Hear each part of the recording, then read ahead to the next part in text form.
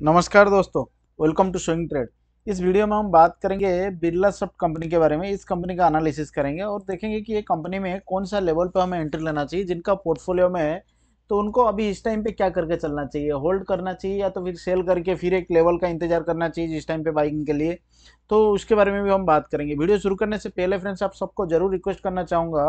अगर आप इस चैनल पर नया है चैनल को तो ज़रूर सब्सक्राइब कर लीजिए। उसके साथ में बेलाइकन को भी प्रेस करके रख लीजिए। चलिए स्टार्ट करते हैं वीडियो फ्रेंड्स, उससे पहले यहाँ पे एक वीडियो अपलोड किया हुआ है। ये वीडियो जाके ज़रूर देख लीजिएगा, जो कि फंडामेंटली स्ट्रॉन्ग स्टॉक है और टॉप टेन स्टॉक का बारे में नाम बताया हुआ है। ये सारे स्टॉक एक ज़बरदस्त टाइम पे अभी बाई करके चल सकते हैं। ये स्टॉक में ज़बरदस्त एक फोर्टी परसेंट तक का पोटेंशियल है। इसमें ऐसा भी है कि फिफ्टी सिक्सटी परसेंट तक का पोटेंशियल है, ऐसे फंडामेंटली स्ट्रांग स्टॉक है, उसको भी अपना पोर्टफोलियो में लेके चल सकते हैं। अभी चलिए बात करते हैं बिरला सॉफ्ट के बारे में। फ्रेंड्स, ये बारह हज़ार करोड़ का मार्केट कैप है, बारह हज़ार छः सौ करोड़ का मार्केट कैप है। अगर पी के बारे में बात करेंगे ट्वेंटी नाइन का पी है। और यहाँ पे ये जो स्टॉक है, क्या आईटी स्टॉक है ठीक है company Birlasoft is engage in computer programming consultancy and related activities it's provide software development and IT consulting to its customer ठीक है तो इसी के साथ में अगर हम देखेंगे कंपनी का R O C R O सी यहाँ पे रिटर्न ऑन कैपिटल एम्प्लॉयड यहाँ पे ट्वेंटी वन परसेंट है। उसी के साथ में कंपनी एक debt free company almost debt free company है।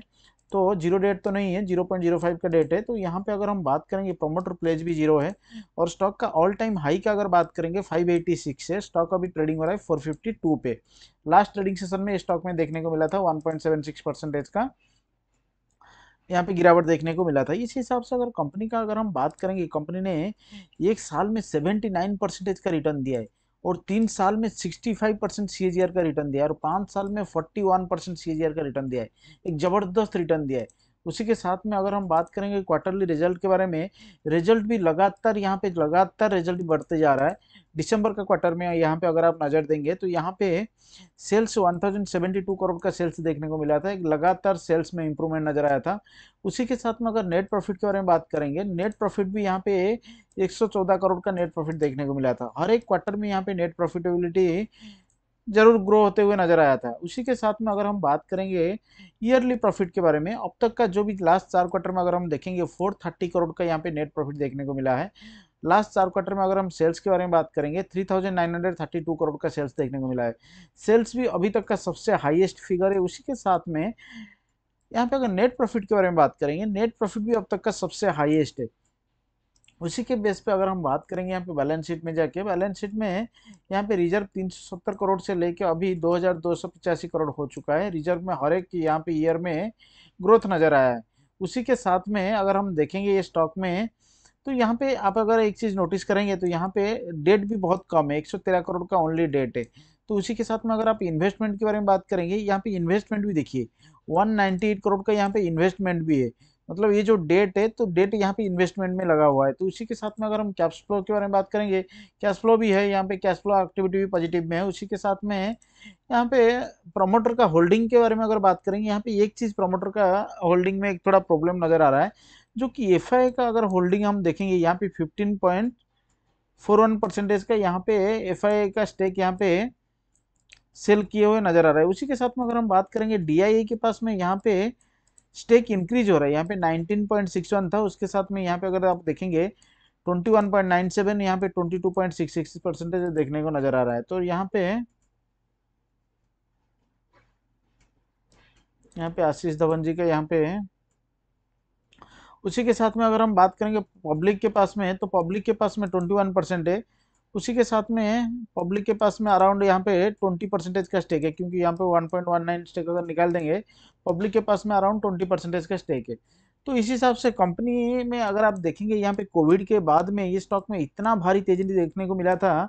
यहाँ पे देखिए स्टॉक एक बहुत ज़्यादा वोलाटाइल स्टॉक है। आप अगर देखेंगे इसका पुराना चार्ट पैटर्न से यहाँ पे देखिए, कितना बड़ा फॉल हुआ था। उसके बाद में यहाँ पे काफ़ी दिन तक कंसल्टेशन में रहा।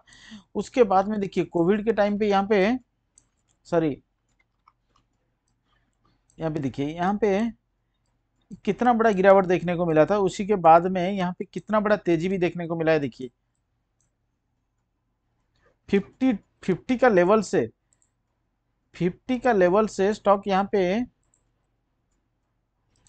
कोविड के बाद में यहाँ पे टेन टाइम्स हो चुका है। ठीक है मतलब दो साल में स्टॉक ने टेन टाइम्स रिटर्न दिया है। ऐसा एक मल्टीबैगर रिटर्न दिया है।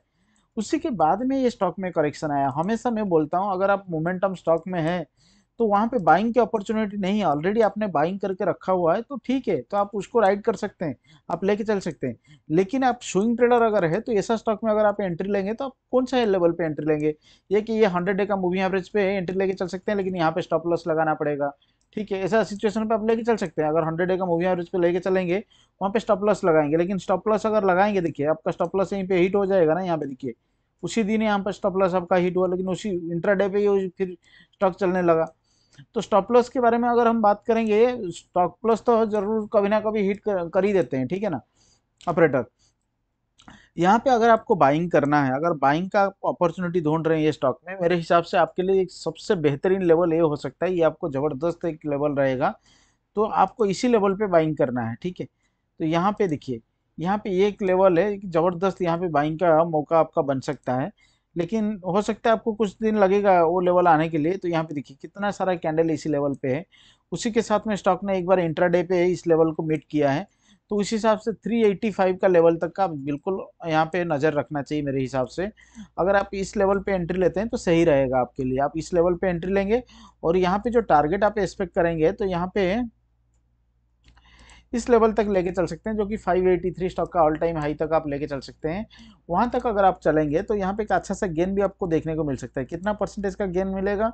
तो यहाँ से लेके अगर यहाँ तक का अगर हम पोटेंशियल देखते हैं ये स्टॉक में एक 51 परसेंटेज का पोटेंशियल है, यहाँ पे आपको 51 परसेंटेज का गेन देखने को मिल सकता है, ठीक है? लेकिन डिसीज़न आपको लेना है तो आपको अभी बाय करना है या थोड़ा इंतज़ार करना है? मेरे हिसाब से आपको इंतज़ार करना चाहिए, क्योंकि हो सकता है किसी दिन में यहाँ पे मार्केट का सिनारियो थोड़ा सा ये वीकनेस अगर रहा तो ये लेवल जो है आपको ज़रूर देखने को मिल सकता है। उस लेवल पे एंट्री करके आप 51 परसेंटेज का गेन आप मीट कर सकते हैं। अगर आप बोलेंगे तो ये टारगेट तो यहाँ पे ब्रोकिंग हाउस का भी कुछ टारगेट आया है तो इस टारगेट तक का। अगर आप देखेंगे, यहाँ पे देखिए कुछ दिन पहले यहाँ पे आप देख सकते हैं, शेर खान का भी यहाँ पे ब्रोकिंग हाउस का टारगेट आया था। यहाँ पे बाय करके चल सकते हैं और टारगेट 580 का उन्होंने दिया हुआ था लास्ट थ्री वीक्स पहले, ठीक है? उससे पहले अगर आप देखेंगे यहाँ पे यहाँ पे अरिहट कैपिटल है तो यहाँ पे भी 550 का भी उन्होंने लेवल बताया हुआ था। तो इस हिसाब से हो सकता है, ऐसा नहीं कि आपको ये तुरंत ये लेवल आपको टारगेट अचीव करा लेगा, ऐसा नहीं है। आपको हो सकता है थोड़ा होल्ड करना पड़ सकता है, ठीक है? तो ये स्टॉक में मेरा व्यू ऐसा है तो आपको इमिडिएटली थोड़ा सा एंट्री नहीं करना चाहिए, थोड़ा अवॉइड करना चाहिए, क्योंकि स्टॉक बहुत बड़ा मोमेंटम में था, ठीक है, बहुत ज़बरदस्त रिटर्न भी दिया है, ठीक है। अगर ये स्टॉक हमारा हाथ नहीं लगता है तो कोई बात नहीं है, ठीक है।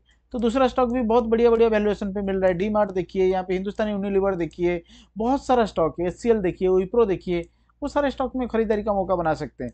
लेकिन इसमें आपको अगर खरीदारी का मौका बनाना है, इस लेवल पर आपको बनाना है। और अगर कंपनी में किसी का होल्डिंग है, मेरे हिसाब से अगर आप, ये अपर लेवल पे बाइंग किए हुए हैं, मेरे हिसाब से होल्ड करना चाहिए।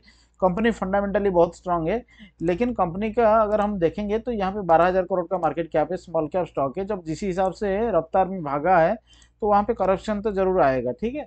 तो ये सारी चीज़ आपको बिल्कुल नज़र में रखना चाहिए। फ्रेंड्स अगर ये वीडियो आपको पसंद आए वीडियो को तो ज़रूर लाइक कीजिए फ्रेंड्स के साथ में शेयर कीजिए, अगर चैनल पे नया है चैनल को ज़रूर सब्सक्राइब कर लीजिए। उसी के साथ में अगर आप मेरे साथ में जुड़ना चाहते हैं, यहाँ पे व्हाट्सअप का नंबर दिया हुआ है तो व्हाट्सअप नंबर पे आप मैसेज करके आप मेरे साथ में ज़रूर जुड़ सकते हैं। वहाँ पे काफ़ी सारी चीज़ें हैं। हर एक वीक में हम आपको वहाँ पे डिस्कशन करेंगे, एक छोटा सा मेंबर फ़ीस के साथ में है, वहाँ पे काफ़ी सारा बेनिफिट आपको मिलेगा। चार्ट भेजते रहेंगे चार्ट के साथ में आपको टारगेट भी मिलेगा। आप डायरेक्टली मेरे साथ बात भी कर सकते हैं, कैसे आपको पोर्टफोलियो ग्रो करना है। अगर आप स्पेशली स्टॉक मार्केट में न्यू है तो आप लॉस से बचना बहुत ज़रूरी है, क्योंकि स्टॉक मार्केट में इंट्राडे में जाएँगे एफएनओ में जाएँगे, बहुत सारा लॉस हो जाएगा। तो वहाँ पे एक छोटा सा प्रीमियम के साथ में अगर आप ज्वाइन करेंगे तो वहाँ पे काफ़ी सारा चीज़ सीखने मिलेगा और स्विंग ट्रेड करके कैसे आप साल में थर्टी परसेंटेज का गेन ले सकते हैं और ढाई तीन साल में आपका पोर्टफोलियो कैसे हंड्रेड परसेंट ग्रो हो सकता है, वो सारी चीज़ वहाँ पर डिस्कशन करेंगे और पोर्टफोलियो की कैसे डाइवर्सिफिकेशन करना है, ये सारे चीज़ के बारे में वहाँ पर बात करेंगे, ठीक है? वीडियो अगर पसंद आए वीडियो को तो ज़रूर लाइक कीजिए। फ्रेंड्स के साथ में शेयर कीजिए। अगर चैनल पर नया है चैनल को ज़रूर सब्सक्राइब कर ले thank you very much friends for watching this video मिलते हैं नया एक वीडियो के साथ में।